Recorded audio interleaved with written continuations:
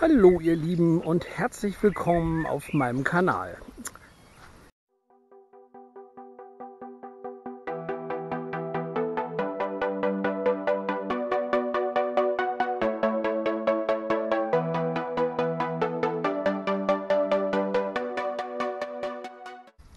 Ich möchte euch heute einen neuen Campingplatz vorstellen und zwar ist das der Campingplatz Katzenkopf, witziger Name, ähm, den wir aus einer Not heraus äh, gefunden haben. Und zwar war ja unser Urlaub geplant äh, in den Bergen mit äh, ja, Peißenberg und Bad Feilenbach und dann wollten wir ja nach Österreich und ins Ötztal das ging natürlich voll in die Hose, weil das äh, Unwetter quasi uns gezwungen hat, unsere Route komplett äh, zu stornieren und, äh, und was anderes zu suchen. Jetzt haben wir hier einen Campingplatz gefunden. Katzenkopf ist Nähe Würzburg, östlich davon Nähe der A3. Und der hat uns hier oder gefällt uns hier so gut, dass wir hier wohl auch jetzt länger äh, bleiben wollen, werden einen Ausflug nach Würzburg machen, uns ein bisschen umgucken. Aber das soll ja jetzt hier jetzt nicht das Thema sein. Wir haben jetzt hier einen Platz gefunden, haben uns äh, bei diesem Campingplatz hier so ein bisschen, ähm, ja, so ein bisschen an den Rand verzogen, damit wir hier ein bisschen mehr Ruhe haben. Ähm, ein paar kleine Platzerweiterungsarbeiten finden hier noch statt, weil dieser Platz gerade mördermäßig explodiert. Die haben hier so viel Zulauf durch Mund-zu-Mund-Propaganda und so. Also das ist schon klasse. Wenn man das jetzt mal sieht, ähm, der Campingplatz befindet sich hier also quasi irgendwie direkt auf einer Insel und ähm, ja, da ist dann so ein See drumrum. Ne? Und hier ist dann eben halt unser Platz. Ist doch eigentlich sehr schön. Ne? Hier vorne sieht man, das sind hier noch äh, Plätze, die hier gerade neu angelegt worden sind. Äh, die sind noch nicht befahrbar und hier werden auch noch neu Abwasserrohre verlegt, weil das sind Komfortplätze, wo du dann Wasser und Abwasser hast. So, unser Platz äh, hier ist auch schon einer. Da haben wir auch Abwasser, aber Wasser fehlt noch. Ja, so haben wir das jetzt momentan hier uns eingerichtet. Ähm, wir mussten ja die Sachen die wir ähm, quasi im strömenden Regen, beziehungsweise als sie klitschnass waren, mussten wir das ja alles abbauen und haben das denn jetzt äh, wieder aufgebaut, damit das dann trocknen kann. Und hier werde ich mich jetzt mal hin platzieren. So, ah, das ist unser Blick. Ist natürlich ganz toll, dass da jetzt irgendwelche Bauarbeiten losgehen, aber ich will es kurz machen. Ich weiß, das schaffe ich ja nicht immer, aber ich versuche das einfach mal. So, ich hoffe, ihr könnt mich soweit gut sehen.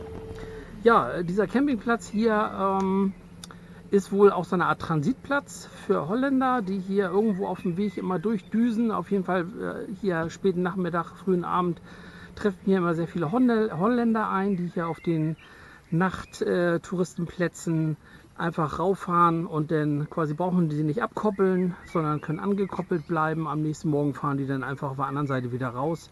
Und äh, von diesen ähm, Tagesplätzen oder Übernachtungsplätzen hat der Campingplatz jetzt gerade noch mal ein paar weitere angeschafft.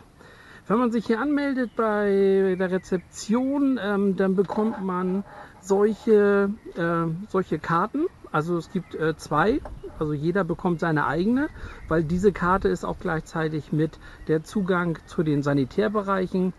Und ähm, ja, war eigentlich äh, ganz toll, super lieber Empfang an der Rezeption. Wir konnten uns hier umgucken auf dem Platz, wir konnten uns hier was aussuchen. Ähm, war also wirklich klasse. Kiosk ist dabei, du kriegst viele Informationen, du kannst hier Brötchen kaufen, brauchst du nicht vorbestellen, die haben sie da, solange der Vorrat reicht. Also frühes kommen sichert auch die guten Brötchen. Ähm, unter anderem verkaufen die hier auch Wein weil das hier ähm, Katzenkopf äh, heißt dieser Campingplatz, weil das eben halt das gesamte Weinanbaugebiet äh, nennt sich Kapf Katzenkopf. Alter. Ja, und ähm, wir waren natürlich total begeistert und ähm, gespannt auf die Sanitärbereiche. Die möchte ich euch äh, gerne auch noch mal zeigen. Ich habe hier im Vorwege, bin ich hier schon mit der Kamera ein bisschen rumgelaufen und äh, die Bilder, die werde ich euch jetzt noch nachliefern. Das könnt ihr euch mal ansehen. Zu den Sanitärbereichen muss, äh, muss ich sagen, die sind wirklich der Knaller. Ne? Also ihr werdet die Bilder ja gleich sehen. Vor drei Jahren wurden die für zwei Millionen Euro ähm, ja, renoviert und äh, es ist echt der Knaller. Aber werdet ihr sehen. Wir werden uns hier jetzt so ein bisschen umgucken, werden uns eine schöne Zeit machen hier und ähm, ja, schaut euch mal die Bilder an und dann ähm, hören wir uns danach noch mal kurz. Bis dann.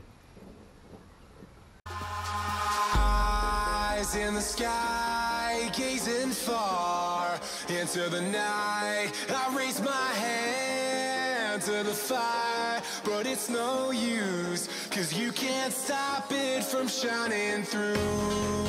It's true, baby, let the light through. If you believe it's true, baby, won't you let the light shine through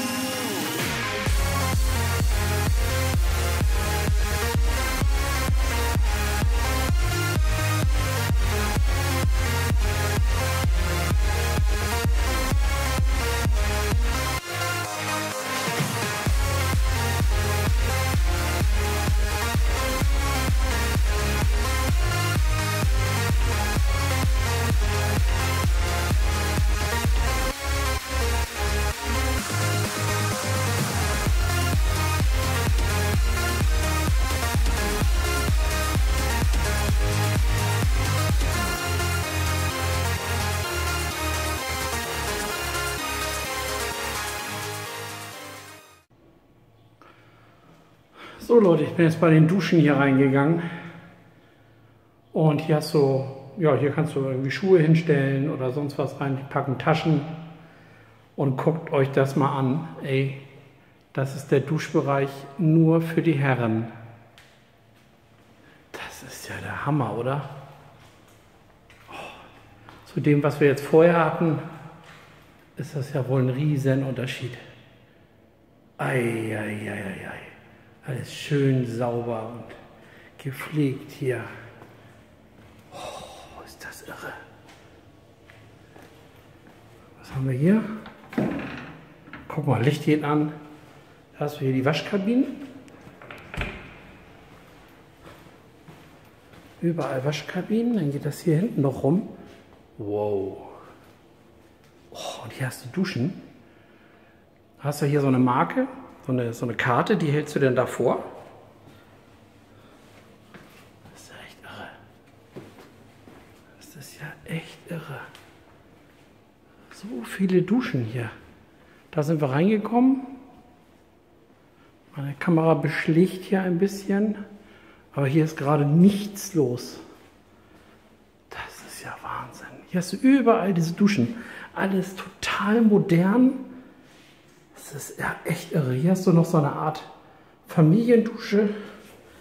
Und hier ist dann noch äh, quasi, damit du dann, falls du das Baby hier mit rein willst, Kleinkind, wie auch immer, kannst du denn hier den Tisch runterklappen zum Wickeln. Auch bei den Herren drin. So. Aber super sauber, super gepflegt, riecht angenehm. Boah, ist das klasse. So, hier sieht man das noch mal ein bisschen besser. Ne? Hier gehe ich dann noch mal eben rein. Hier musst du die Karte davor halten. Genau.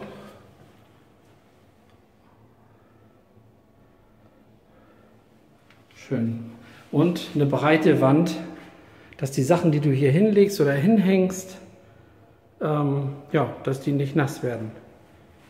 Tolle Sache. Überall duschen, das ist ja monstermäßig, was hier an Duschen ist. Unglaublich. Und wisst ihr was? Das Geilste ist, warm Wasser, Duschen und so, das ist alles in dem Preis mit drin. Das heißt, du kriegst die Karte und kannst mit dieser Karte, hast du den Zugang hier zu diesem Bereich und, und kannst das, kannst loslegen. Kannst so lange duschen, wie du willst. Ist doch ein Traum. Dann will ich die mal ausprobieren. Bis dann. So, dann muss man nur die Karte davor halten. Hier, eine Karte. Zack. Stellt man da so rein. Kostenlose Nutzung.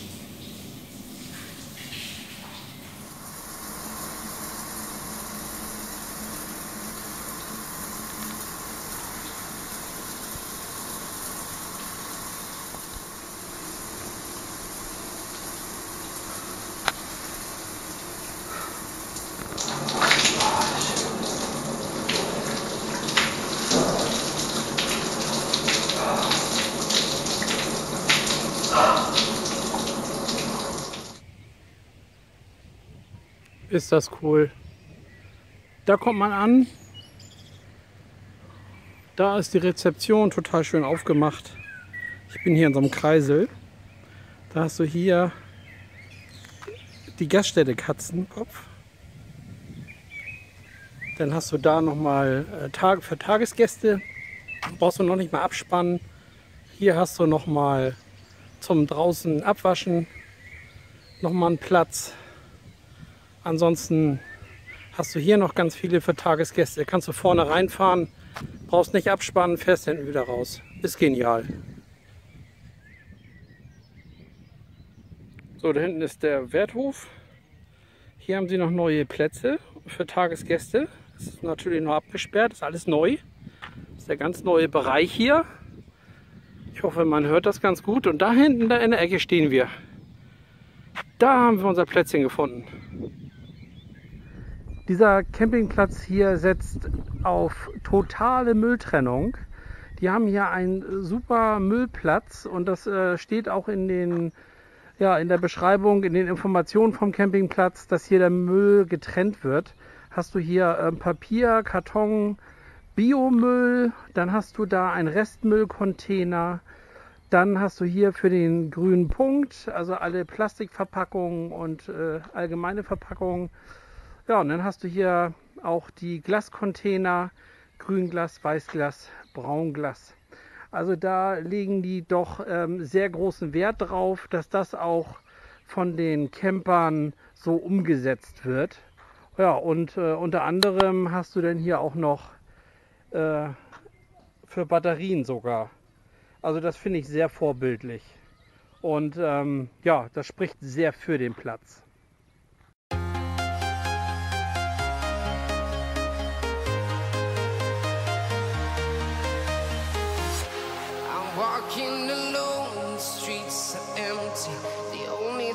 I can see is my own silhouette. I'm getting stronger, step by step. The clock is ticking, but there's no time for regrets. I've been flying from town to town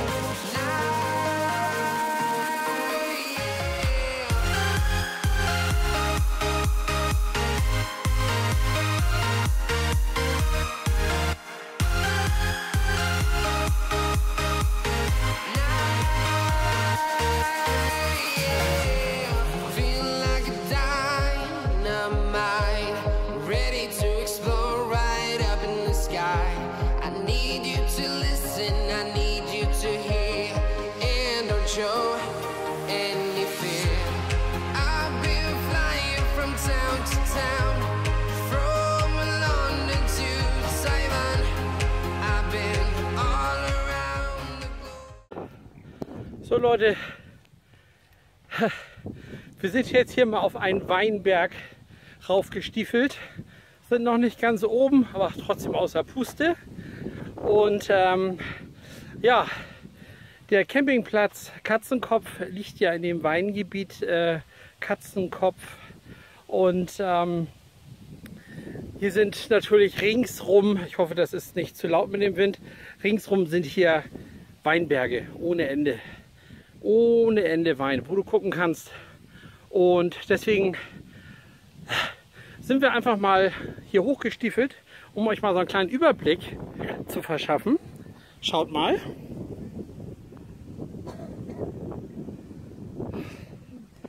Das sind alles Weinberge. Wahnsinn, oder? Man kann richtig weit gucken, das Wetter hat sich gebessert. Ne? Das ist der Ort Sommerach.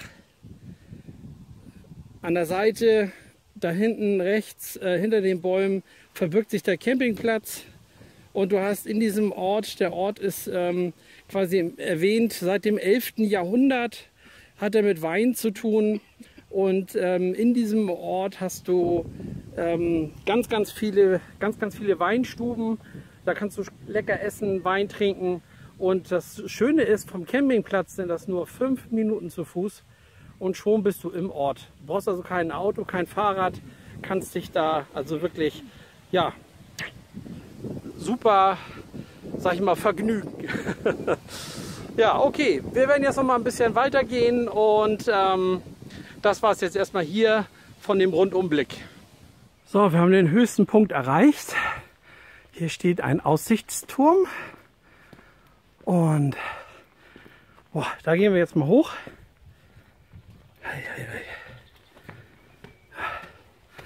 Ja, was macht man nicht alles, ne? Zack. Oh. oh, wow. Oh, wow. Ah, ist das schön. Ist das schön, Leute.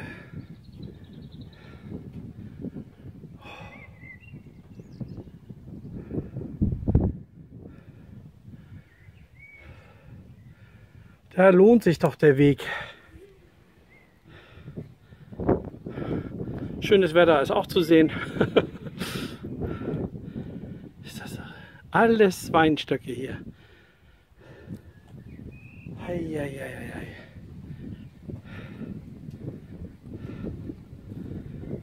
Tut mir leid, wenn der Wind so ein bisschen stört, aber sehr windig hier oben im Moment.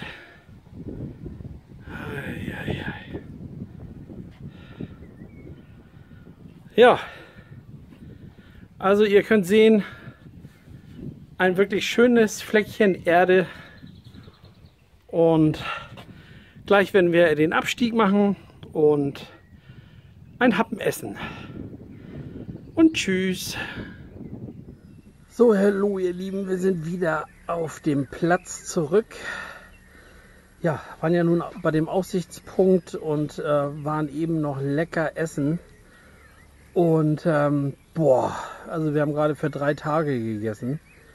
Wir wussten ja nicht, was wir da bestellen und ähm, ja, das kam dann.